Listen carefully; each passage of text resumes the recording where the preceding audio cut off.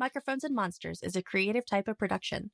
Special thanks to Mead and Patrick T. Arsenault, our executive producer level supporters from Patreon.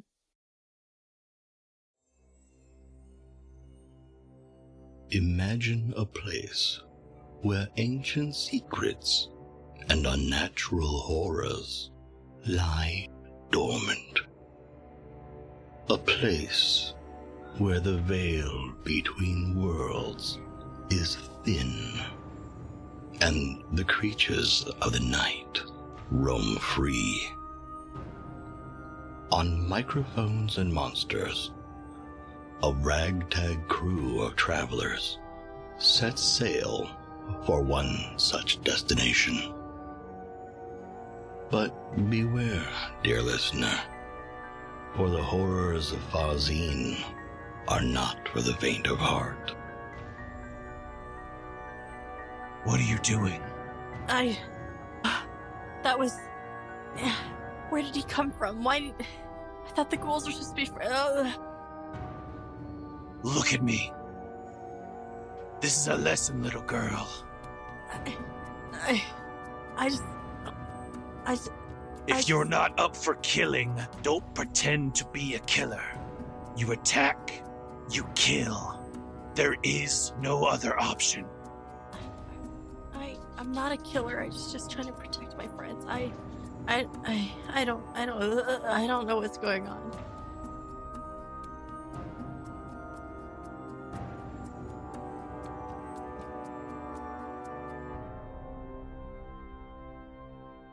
Um, uh, I'll go back to the ghoul. Does the ghoul have anything on him? Any No. identifying information or valuables? No. Okay. I'm still underneath Lucius, a little freaked out. Marceline, are you okay? It yeah, looked like something happened to your arm. I'm. I'm okay. He just. He. But he bit me a little. But I. I think I'm okay. Oh, well, is, is anyone else hurt? Okay. Um, I'm fine. How long, Everyone's how, long, fine. how long do those temporary hit points last? Uh, they last until you rest or they're consumed, basically. Okay. I will. Or, or or you have a different source of, of temporary hit points, like they overwrite, basically. I will. Where did the where did the the the ghoul take a chunk out of me? He, he slashed at your legs. That's the only time he My hit legs. you. Yeah. He The- healed you already after that. Mm-hmm. Well, what I'm saying more so is is where the wound was.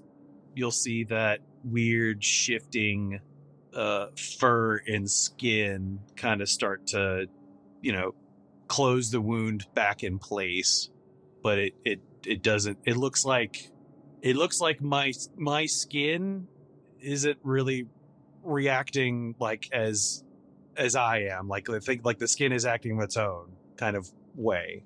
Think of like uh like the how the the symbiote works with Venom, where it Yeah. kind of like moves kind of independently, unnatural to my own motion as Yeah. it's like you know closing this up. Well, oh, go ahead.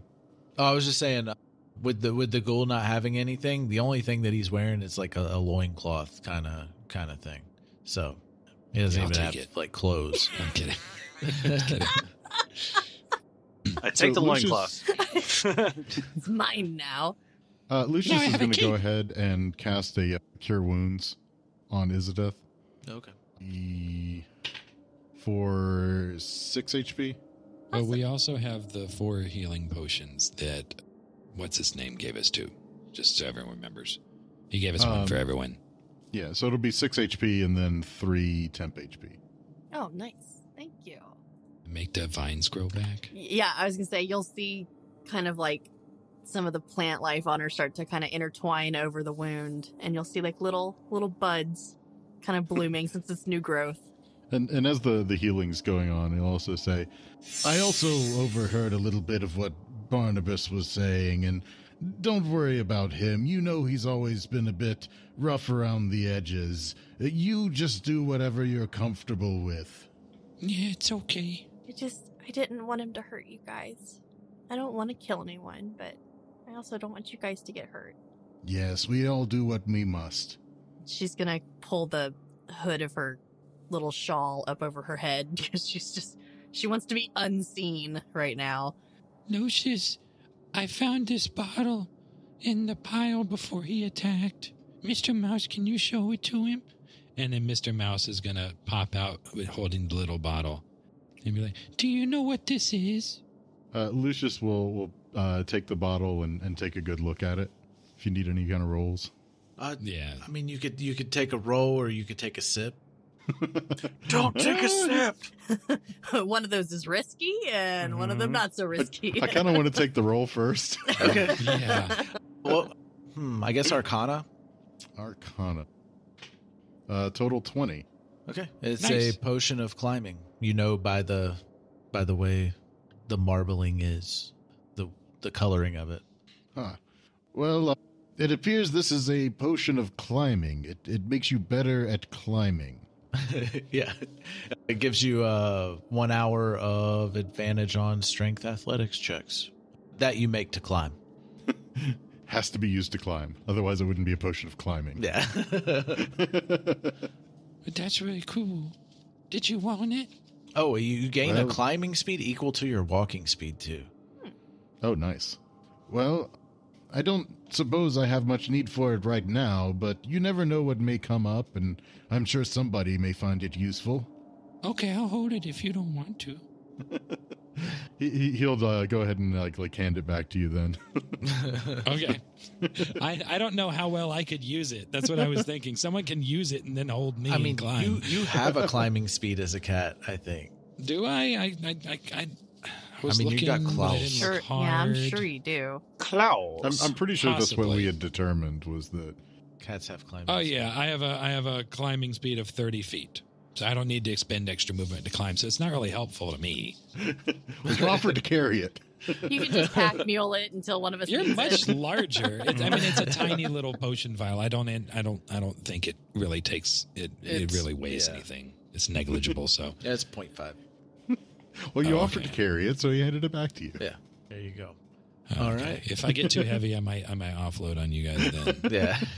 Just start offing your uh, offloading your your inventory I think to I can hold a diamond earring. Yeah.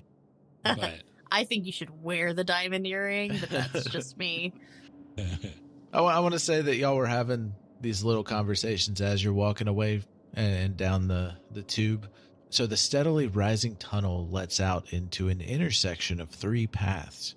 The north passageway quickly becomes impassable due to a cave in. The southern switchback leads to a larger opening, partially blocked by a crumbling wall, and the passage to your left is narrow and winding. So, hmm. in front of you, to the north, cave in. You can't go that way. To the east of you, to the to the right, or you kind of behind you a little bit now. Big big open cavern, and then you got a narrow winding path to your left.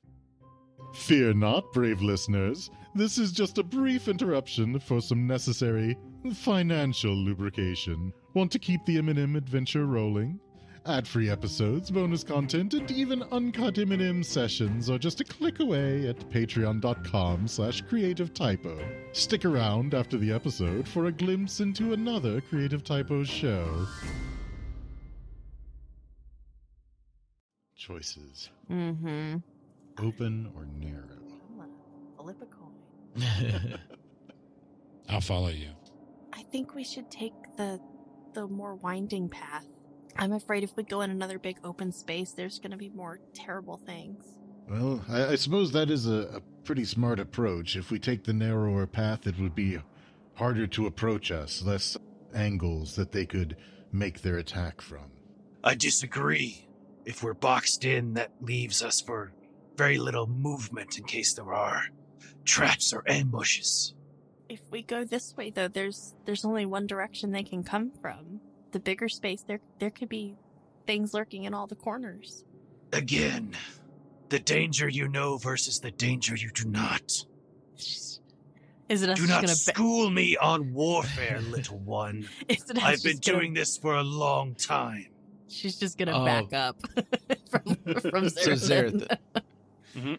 if you get closer and you, you you start inspecting what that that that crumbling wall, Mhm. um, so right away you see this and you see something familiar because this The demolished wall at the at the southern portion of the room is what remains of a failed attempt by a group of lost sailors to defend themselves, and you you can you can piece all this together with everything going on. They were trying to defend themselves from the horrors of the of, of the tubes, like stuff coming at them, attacking. You can see that this is a dead end once you get further in. You see Mhm. further around the cavern, and uh, they were very unsuccessful and littered among the rubble are their crumbling, gnawed up bones. That's on the narrow path, right? That is the path you wanted to go. Okay. Get wrecked, nerd. but you're able to put that together once you once you get closer and, and, and can look at it. Well, the choice has been made for us. There is no way on this end, looks like. Another group of unfortunates met their demise here. We'll proceed with the narrow passage. Izzodath will go ahead and start that direction.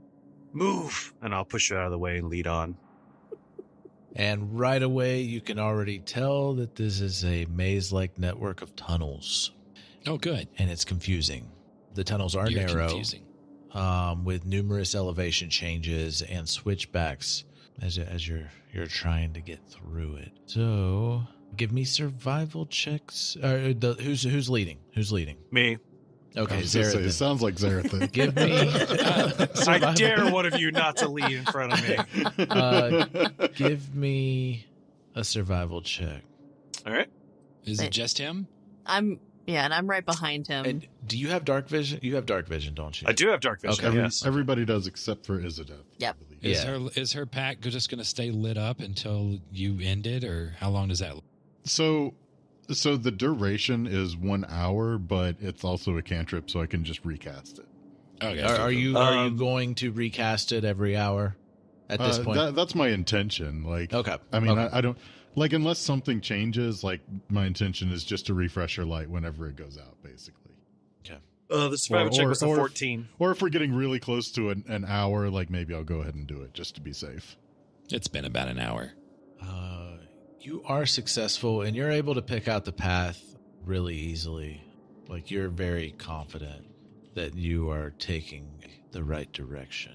Well, he would be regardless. Can't convince me otherwise. I'm going the right way. Follow our fearless leader. As you're about like, as you've made a few turns now, you're hearing something just echoing, and it seems to be just echoing from from all directions. Like every turn seems to be. It, it sounds kind of like a like a scraping, walking kind of sound. I'll raise my hand for everybody to stop. Assuming everyone knows what that is, because I just am assuming everyone knows that means stop. Rufus might not see your hand from down near everyone's feet. Right, is it so at just his- stop when people's feet stop. Is it at your waist level and like bumps into the back of you. She can't see your hand all the way up there. Uh, is, well, can I tell on? where the sound is coming from? It, it's just kind of. It's just echoing. What's happening, Xerothin? Do Why are we stopped? Shh! Do you not hear that? Do I hear it? Yeah, yeah. Okay. Everybody hears it. I think try to find it again. I feel like I had an advantage with perception having to do with yep, here it is, Sight. sight or smell. Okay. Yeah, and I've got smell, and neither of those are sound. Oh. I couldn't remember what my second was. I knew it was sight and something. I can't eat my my pickled eyeball either. That's sight as well. That is sight, yeah. Uh, I mean, All right. I don't know. Can can we roll a check to see if we recognize what the sound might be? It sounds like something scraping and walking, like scraping Oh. on the ground and, and footsteps. Okay. But give me another survival check, Xerothin. Sure. Well, if we're all stopped and paying attention and pretty much in the same spot, He's is it still leading. just him doing the check? Not so just making good. sure. That is a I've never done seven. a dungeon crawl before. I don't know. Oh, what'd you say? What was your roll? Seven. Seven. Okay. The the the echo just kind of it's distracting you from from the path that that navigating navigating this maze, but Mhm. the the noise stops and just just stops suddenly and and you continue walking thinking you're going the right way you're very confident you're letting everybody know with hand signals like you're being quiet but you turn and there's a mist on this turn and the mist forms itself into a vaguely humanoid shape stretched into an impossibly gangly parody of an emaciated human. Okay. Sucks to be you. And roll for initiative. Okay. Well, at least I have advantage on this. Uh, nine. 15 or 18. Two. 12. Who had 15? I accidentally said 15. I have 18. Oh. Yeah. Who had a 2? Me. I had a two. Rolled a one. And Lucius. And Lucius has a 12. And the unman. Unman. Unman. Unman. what? That's not a thing. It's definitely not a man. Did he roll better than me? That's not fair. And oh, we got Rufus going first again. Okay. I think Rufus goes first So- all the time. I've something got a plus something five. advantage and high dex. yeah. I, I have advantage uh, on initiative rolls, and I have a plus five on initiative rolls. so, okay, I, hold up. This this die hasn't been doing well. Um, I'll I'll roll with this one, uh, and I'll I'll just like you know I'm sort of underfoot of everyone. We're kind of standing in a group, I imagine, like in this tunnel. And Yeah, so I mean, you're- sort you're- you're- way to the you're- front. Marching order, Xerothin up front, and then Mhm. However y'all want to be in marching order. Well, I can occupy the same space as other people, so I I'm just underneath underfoot You're anyway. just underfoot all. I'm just underfoot all the time. You're just know now within- how not. You're within distance. It doesn't matter distance. I, I'm within right now. attack range of this thing. yes, yes, you are. Okay, good. All right, that is a. What do I have? I haven't rolled an attack in a while. 18 to hit on this thing, 18, and 18 does not hit. 18 doesn't hit. Oh man. Oh, well. So I, I just sort of jump at it and I try to slash at it, and something happens. I don't know. I missed. You know. it just kind of like when you slash at it, it just kind of just like mist. It goes misty. Of course it does. Mm. Just I don't don't you're a melee character too bad. Okay. so in that case, I'm gonna be like, what? And I'm just gonna run un- underneath Xerothin's legs and, and Oh, and I'm brace- sorry. brace I was myself. looking at the wrong thing. You did hit. I'm. I am so I sorry. did hit? Rewind. Yeah, I Oh, was. okay, Yeah, I'm sorry. I hit I him. was. I was Okay, looking at the wrong 18 to thing. hit. I am so sorry. 18 to hit. 18 so hits. That hits. Okay. Yeah. Well, then I am going to do eight slashing damage on him. Plus, I believe. Let's see here. I don't need advantage on the attack roll if another enemy of the target is within five feet of it. Are they within five feet? Is he within five feet of Xerothin? N- No, he's No. not. Yeah, because No. I was leading up Oh. front. Yeah, but you weren't right on top of it. Yeah, you wouldn't have stopped Okay. five Like, feet it's- from it's- space. Like you had Oh, to you ran. to Oh, it. you ran. You ran up to him. Okay, never mind. yeah. Yeah. Okay. Okay. I didn't know how far I ran up to him. I thought it. oh, No, you're the only Xerothin's one within face. within five feet of it. Okay, okay. Well, cool. Then I am going to disengage and run back underneath Xerothin and is my bonus action. Okay. Your your uncanny actions. It's a cunning action, actually. Oh, uh. But yeah, I'm gonna use my bonus action to run back under Xerothin and be like, "You can hit him if you want." I was gonna get to use sneak attack and everything, and he just wasn't close enough. I'm never going to use sneak attack the entire campaign. thought that you've used it before. no, I forgot. Oh, I could have used it before, and I didn't because I was a fool. I've got special dice for it and everything. Well, you're on the you're on the wrong show. Then this is for morons, not fools. But he thought, surely I'll have other opportunities. Mm. So, because you just tried to attack this thing, it's going for you. I did attack it, sir. Yeah, yeah. Well, I mean, he's gonna it, he's gonna he's gonna just like kind of shamble up with a squiggly dude, just coming all up on you, and uh, he gets within ten feet and he reaches because you're I've got half cover under Xerothin. you have half cover cover. Does half cover do anything against melee? Let me Hold on. double check. Yeah, yeah, it's melee. no. And it covers only for ranged. Yeah, this is this is melee. It's ten feet away, but it's a It melee. is, it, it is uh, a plus two bonus to AC. Oh, it is. Oh shit. That, that's what I'm saying. Is just the target has half cover. With half cover has a plus two bonus to AC and dexterity saving throws. Yep, yep. Okay. Plus two to AC. So Okay. That is a 17 to hit. Uh, that misses. My AC is 18 with plus two.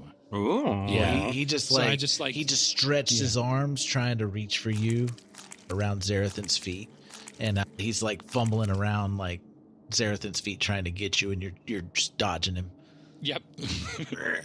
no, no, get away from me. He's like,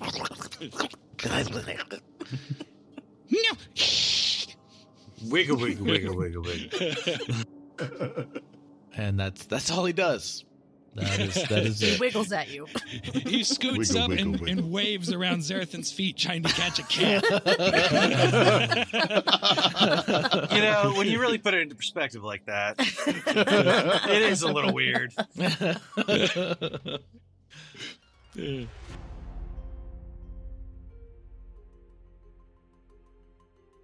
Next time on Microphones and Monsters.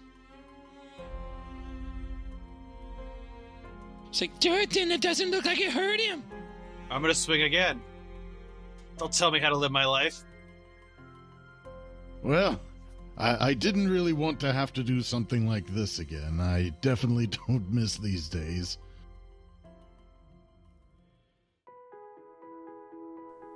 Hi, I'm Emily, and I'm an anomaly, chaos incarnate. And I might be the cause of the end of humanity. Listen to ISFET Archives, a creative typo production, wherever you get your podcasts, and follow along as my friends and I try to save the world from, well, me.